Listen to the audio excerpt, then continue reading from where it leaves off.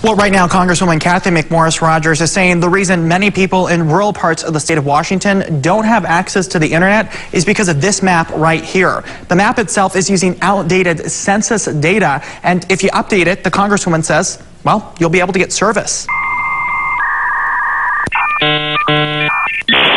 If you go down to Rockford, Fairfield, just south of Spokane, you do not you do not have a signal. Right now, a top priority in the Biden-Harris administration is to expand broadband or wireless broadband via 5G to every American.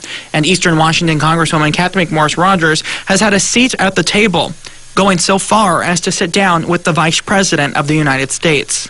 It was a very positive meeting, and I was encouraged that the Vice President wanted to hear both from Republicans and Democrats. And so I was able to speak directly to regions in my district that have no coverage or very limited coverage. The Congresswoman points to the reason many people in eastern Washington and rural Idaho don't have access to internet is because of outdated numbers on FCC maps. The current approach basically it's based upon the census tract and if one person in that census tract could have coverage then they consider the entire census tract to be covered.